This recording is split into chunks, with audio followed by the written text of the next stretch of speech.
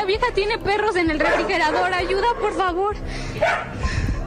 Miren, no les estoy mintiendo. De verdad, la vieja tiene perros en el refrigerador. La búsqueda de un perro robado terminó con este hallazgo. Desde hace dos años, habitantes de la colonia Bosques de San Sebastián, en la ciudad de Puebla, sospechaban que su vecina María Consuelo robaba mascotas, pues los perros callejeros y hasta algunos de casa desaparecían. Una vez que me cacho a su niña a las 2 de la mañana que estaba estirando su manita para agarrar mi gato.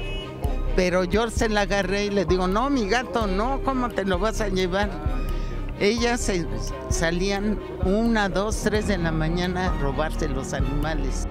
En varias ocasiones, los vecinos dicen que habían ido al departamento de María Consuelo porque olía podrido y a perro muerto, pero no encontraban nada, hasta anoche que lograron entrar y transmitieron en vivo por redes sociales.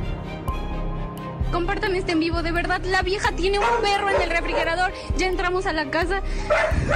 Este perro no deja que pasemos porque los demás perros están ahí adentro y queremos sacarlos. Por favor, si vives en Bosques de San Sebastián, ven a apoyarnos. Entramos al domicilio y había dos refrigeradores. En el primero únicamente había un perro y un gato. Y en el otro refrigerador había más perros y más gatos, alrededor de cinco o seis más, yo creo. En el tambo todavía había más animales destazados. En una recámara encontraron machetes, palos con clavos, que con eso les pegaba o los mataban. Más vecinos llegaron al lugar y encontraron a los animales encerrados en jaulas o atados con cadenas.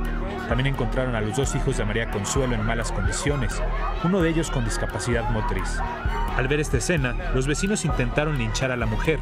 Tuvieron que llegar 10 patrullas con policías municipales para lograr rescatarla. Después se la llevaron detenida por el delito de maltrato animal y abandono de persona. qué llora? Cuando mató a los perros no sentía feo. ¡Asesina!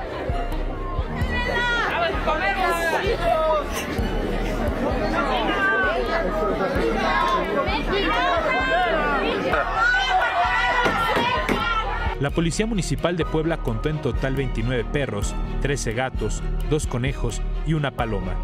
Estaban vivos, pero en tres refrigeradores hallaron bolsas negras con los cadáveres de cuatro animales. Ninguno de ellos era el perro al que originalmente buscaban.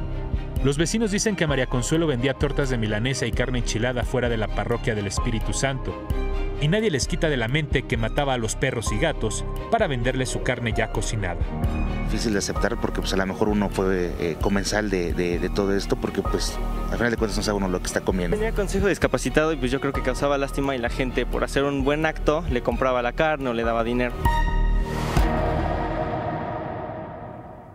¿Qué, ¿Qué, diablos está pasando? Esta tarde una fundación de defensa de los animales, una fundación que se llama Patitas Enlodadas, presentó la denuncia formal contra esta señora por maltrato animal. También llamó a los afectados a ir a denunciar y llevar pruebas al Ministerio Público. Imagen Noticias con Ciro Gómez Leiva, lunes a viernes 10.30 pm. Participa en Imagen Televisión.